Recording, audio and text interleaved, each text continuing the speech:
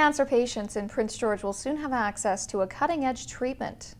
The BC Cancer Agency is starting a clinical trial of T-cell therapy.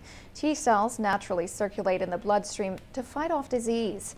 Researchers have come up with a way to isolate the immune-boosting cells.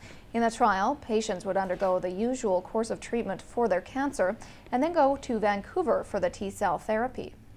We all hear about people who uh, were perhaps given a not a great prognosis, but somehow miraculously they're alive five, ten years later. Uh, well, what we've learned is often in those cases, those patients, their immune system has kicked in and started attacking the cancer.